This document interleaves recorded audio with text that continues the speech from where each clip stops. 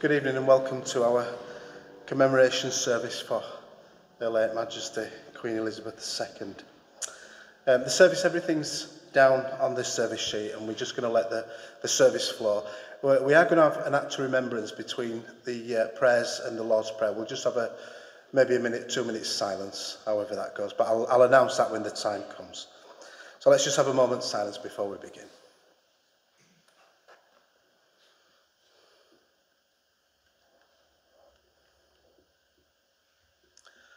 So we meet in the name of Jesus Christ, who died and was raised to the glory of God the Father. Grace and mercy be with you. Today we come together to remember before God Her late Majesty Queen Elizabeth II, to give thanks for her life and to comfort one another in our grief. O God, make speed to save us. O Lord, make haste to help us. Blessed are you, Lord our God, lover of souls.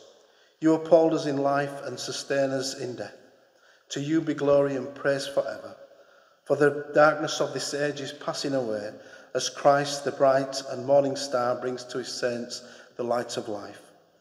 As you give light to those in darkness who walk in the shadow of death, so remember in your kingdom your faithful servant Elizabeth, that death may be for her the gate to life and to unending fellowship with you, where with your saints you live and reign, one in the perfect union of love, now and forever.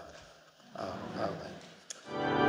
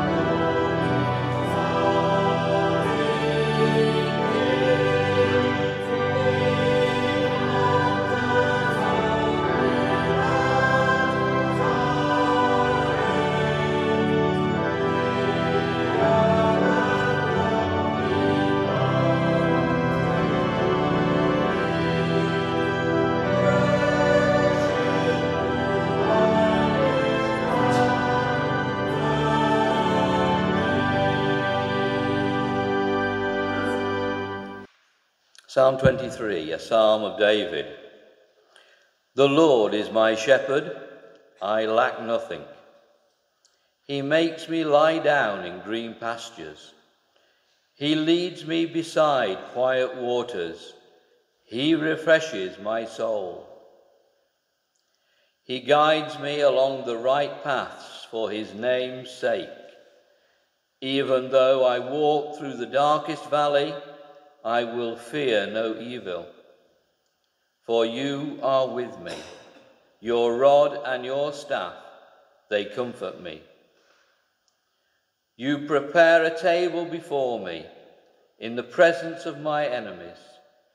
You anoint my head with oil, my cup overflows. Surely your goodness and love will follow me all the days of my life, and I will dwell in the house of the Lord forever. This is the word of the Lord. Thanks God. An incredible passage which tells us that we uh, we walk through the valley of the shadow of death. We never stay in that valley of the shadow of.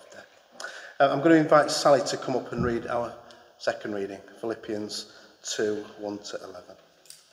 Therefore, if you have any encouragement from being united with Christ, if any comfort from his love, if any common sharing in the Spirit, if any tenderness and compassion, Then make my joy complete by being like minded, having the same love, being one in spirit and of one mind. Do nothing out of selfish ambition or vain conceit. Rather, in humility, value others above yourselves, not looking to your own interests, but each of you to the interests of the others. In your relationships with one another, have the same mindset as Christ Jesus, who, being in very nature God, did not consider equality with God something to be used to his own advantage. Rather, he made himself nothing by taking the very nature of a servant, being made in human likeness.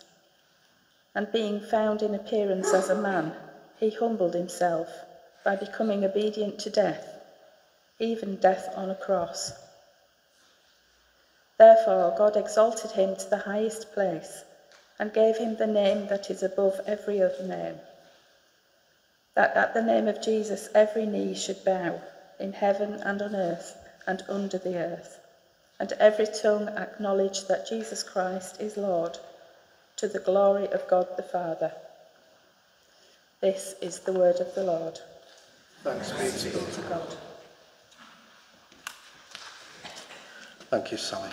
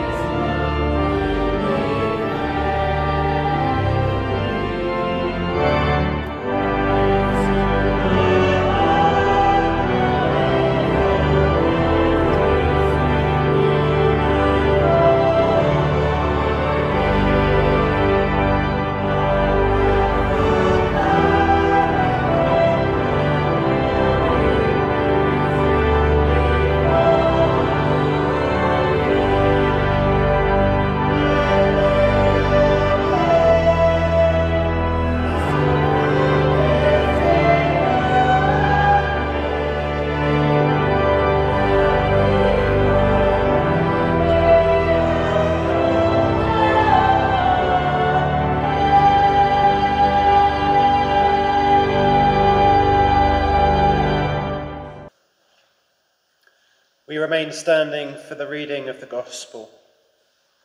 Alleluia, Alleluia. It is the will of him who sent me, says the Lord, that I should lose none of all that he has given me, but raise them up on the last day. Alleluia. Hear the gospel of our Lord Jesus Christ according to Mark. Glory to you, O Lord. Then James and John, the sons of Zebedee, came to him. Teacher, they said, we want you to do for us whatever we ask. What do you want me to do for you? He asked. They replied, Let one of us sit at your right and the other at your left in glory. You don't know what you're asking, Jesus said. Can you drink the cup I drink, or be baptized with the baptism with which I am baptized? We can, they answered. Jesus said to them, You will drink the cup I drink and be baptized with the baptism I am baptized with, but to sit at my right or left is not for me to grant. These places belong to those for whom they have been prepared. Then the ten heard, when the ten heard about this, they became indignant with James and John. Jesus called them together and said, You know that those who are regarded as rulers of the Gentiles lord it over them and their high officials exercise authority over them. But not so with you. Instead, whoever wants to become great among you must be your servant, and whoever wants to be first must be slave of all. For even the Son of Man did not come to be served, but to serve, and to give his life as a ransom for many. This is the gospel of the Lord. Praise to you, O Christ. Would you please be seated? May I speak in the name of the Father, and of the Son, and of the Holy Spirit. Amen. We've gathered today to mourn the death of Her Majesty Queen Elizabeth II and to celebrate the legacy of her life and faith. As the nation has mourned the death of its longest serving monarch, since Thursday the 8th. We've heard tributes to her pour in from all over the world. Prime ministers, world leaders, and others have praised her dignity, her diligence, her intelligence, her warmth, and her friendliness. And yet, over and above all of these excellent qualities, the refrain that I've heard over and over again, and I'm sure you have also, was that of her dedication to duty. Her Majesty Queen Elizabeth II was the servant queen. Even before she became queen, the 21 year old Princess Elizabeth famously gave a birthday speech saying, I declare before you that all my whole life, whether it be long or short, shall be devoted to your service and the service of our great imperial family to which we all belong. Therefore, from the moment of her accession to the throne, upon the death of her father, King George VI, the tone of her rule had already been set. Indeed, at an event to mark her silver jubilee back in 1977, she affirmed the oath of her younger self, saying, When I was 21, I pledged my life to the service of our people, and I asked for God's help to make good that vow. Although that vow was made in my salad days when I was green in judgment, I do not regret or retract one word of it. Her oath was more than a soundbite. It came from the heart, something we see from the way that she consistently signed herself in her letters Your servant, Elizabeth. In an age of the kingdom of self, the kingdom of me, where I, with my wants and my needs, am at the centre of the universe, her late Majesty Queen Elizabeth II modelled something profoundly different, profoundly countercultural. She showed a, a, keen awareness that her privileged office wasn't something to be exploited for personal gain, but used in the service of others. The Queen lived from a kingdom that was not of this world, an upside down kingdom, a kingdom in which the king is the servant of all the kingdom of God.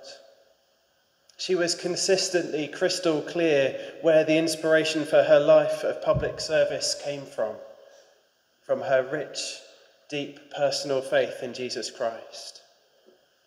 Throughout her life, and especially in her uh, Christmas messages, the Queen acknowledged the centrality of Jesus as the source, the strength, the role model, and the pattern for her reign. In her Christmas message of 2014, for instance, she said, I hope that, like me, you will be comforted by the example of Jesus of Nazareth, who, often in circumstances of great adversity, managed to live an outgoing, unselfish, sacrificial life. Countless millions of people around the world continue to celebrate his birthday at Christmas, inspired by his teaching. He makes it clear that genuine human happiness and satisfaction lie more in giving than receiving, more in serving than being served. We can surely be grateful that 2,000 years after the birth of Jesus, so many of us are able to draw inspiration from his life and message and to find in him a source of strength and courage. And in her message of uh, Christmas 2012, she even mentioned the gospel reading that we've just heard, saying, This is the time of year when we remember that God sent his only Son to serve, not to be served. He restored love and service to the centre of our lives in the person of Jesus Christ. However, what made the Queen such a remarkable figure in the public spotlight was that she didn't just talk about service, she lived it. Her late Majesty Queen Elizabeth II was not shy in telling the nation and indeed the world that she too was a woman under authority. She led as one who herself was led, even the one to whom MPs and judges make their oaths of allegiance. She was up front that she herself had pledged her allegiance to King Jesus. Jesus wasn't just the truth she lived by, he was the way she lived and the life at the centre of her life. The Queen knew from personal experience that Jesus is the King in whose service is perfect freedom. But she wasn't the first monarch to discover that and to lead others as well. In the earlier we heard the well-known and well-loved words of Psalm 23, declaring the Lord is my shepherd. We seldom remember that these wonderful words were written by the shepherd of God's people Israel's greatest king, King David. Like her late Majesty, Queen Elizabeth II, King David knew that he himself needed to be led by God if he was going to lead like God. Indeed, it was the very fact of his being led by God, a man after God's own heart, that made him such a great king to his people. To be sure, that didn't mean he was perfect and didn't make mistakes because he did, some very big ones, sometimes on purpose. But even his mistakes served to drive him back to God, reminding him how much he, as a leader, first needed to be led by God. Even a king or a queen needs a shepherd. And King David's poetic words of Psalm 23 speaks to and speaks of some of our most basic human fears and wants. This is, I think, one of the reasons that we love 20, Psalm 23 so much. We are hungry and we long to feed in green pastures. We are anxious and stressed and we long for refreshment by still waters. We are lost, wondering what direction to go in, and we long to be led in the right way.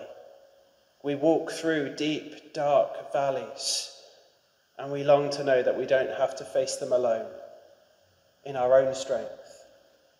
In short, we long for a shepherd of our souls. And the New Testament describes Jesus as the Good Shepherd, the flesh and blood personification of Israel's God. And even though the people of Israel had longed for a king Messiah for centuries, Jesus didn't fit the profile of the Saviour they wanted. And in our gospel reading, as Jesus and his disciples are heading towards Jerusalem in anticipation of his coronation, two of the disciples, James and John, ask Jesus to do them a favour. When you become king, they say, give us the top jobs in government. Let one of us be the Chancellor of the Exchequer. Let the other one be the Foreign Secretary. And Jesus replies, You haven't got a clue what you're asking. You see, Jesus' coronation, when it comes, is with a crown of thorns. The proclamation of his accession is a charge written above his head as he's executed on a Roman cross, the King of the Jews. And yet Jesus says this is no accident. He explains that what makes the Good Shepherd so good is that he lays down his life for the sheep. Or again, we hear the Apostle Paul speaking of Jesus in that second reading we heard, not exploiting his divine prerogatives for selfish gain, but coming among us by taking the very form of a servant. Jesus says that it is the way of the world to use power and position for personal gain. But it's not to be that way with his followers. Why? Because that's not his way. The way of Jesus is the way of service and the way of self sacrifice. The way of Jesus is a complete giving of self for the enrichment of others. He says of himself in the Gospel reading that the Son of Man did not come to be served, but to serve and to give his life as a ransom for many. He died on the cross to free us from the penalty and power of sin. That is true greatness. Every death and every grief causes us to ask questions about our own lives. We become so much more aware of how limited our lives are. We ask questions like what is the meaning of life? What am I here for? What happens after this? And Christians have always believed that there is hope in death as in life, and that there is new life in Christ after death. Those who have known Christ as their shepherd in life, therefore, can walk through the valley of the shadow of death without fear. Today, as we remember the life of Her Majesty Queen Elizabeth II, we're also encouraged to consider for ourselves whether we can say for ourselves, from the heart, personally, the Lord is my shepherd. Therefore, I lack nothing. The Queen made no secret of the fact that she could say that. Can we? The good news of Christianity is that those who know God now as their shepherd will experience him as their home for all eternity. And so, if you can't yet say for yourself, The Lord is my shepherd, perhaps you might ex- consider exploring the claims of the Christian faith for yourself. You come to church, you could pick up a Bible and start reading one of the four stories of Jesus' life Matthew, Mark, Luke, and John. You could ask someone that you know. You could even do it in memory of Her Majesty Queen Elizabeth II. Consider for yourself the faith that upheld her. Even the Queen knew that she needed a shepherd. And there is room for everyone in God's sheepfold. My prayer for you and for the nation as a whole in its mourning is that we experience the peace that comes from Jesus, the Good Shepherd, making us lie down in the green pastures of God's love. So may Her Majesty Queen Elizabeth II rest in peace and rise in glory. Amen.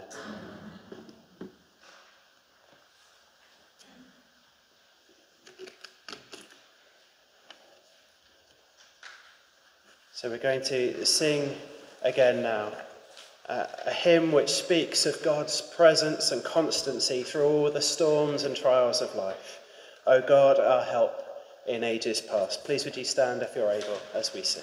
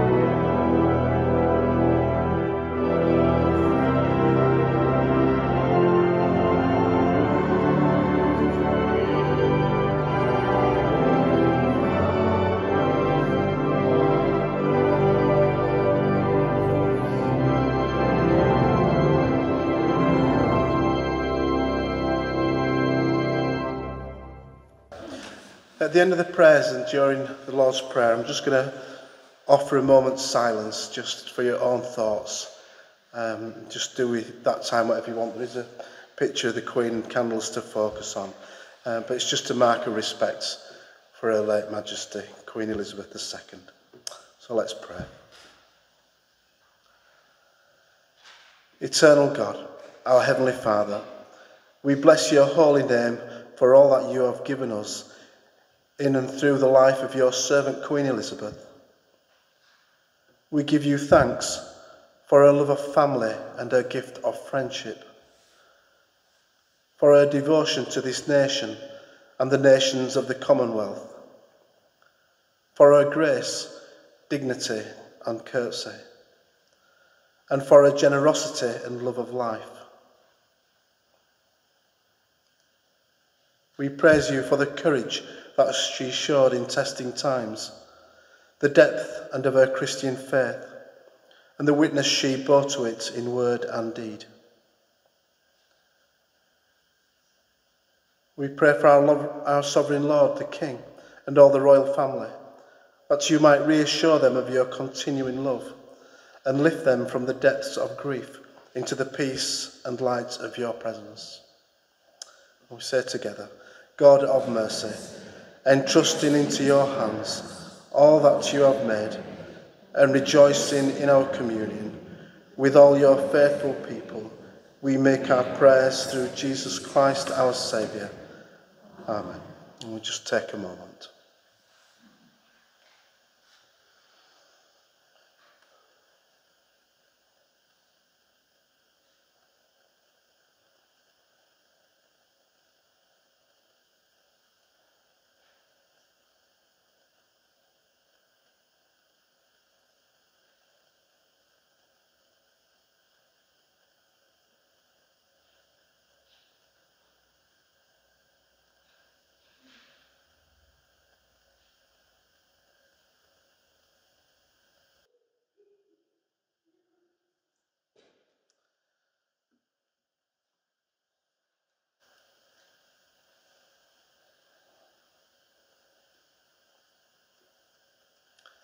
So as we join together in the words of the Lord's Prayer, let us gather up all our prayers in the words Jesus gave us. Our Father in heaven, hallowed be your name. Your kingdom come, your will be done, on earth as in heaven. Give us today our daily bread. Forgive us our sins, as we forgive those who sin against us. Lead us not into temptation but deliver us from evil. For the kingdom, the power, and the glory are yours, now and forever.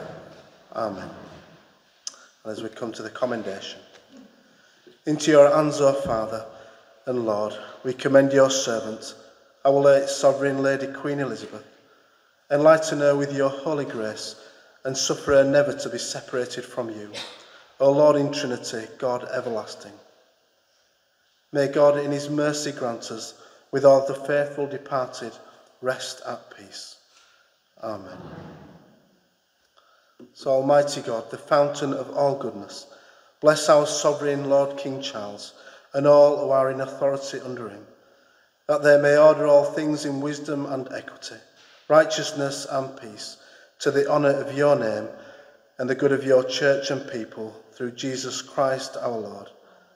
Amen just before I give the blessing at the end of the service, um, after the national anthem, I just invite you to either come and light a candle or please sign the book of condolence at the back of church before you go. There is no time limit to go. Stay as long as you feel is necessary for yourselves. So please let me give you God's blessing. So may God, in his infinite love and mercy, bring the whole church, living and departed, to a joyful resurrection and the fulfillment of his eternal kingdom, and the blessing of God Almighty, the Father, the Son, and the Holy Spirit be upon you and those you love, today and always. Amen. Can I please ask you to stand as we sing together the national anthem?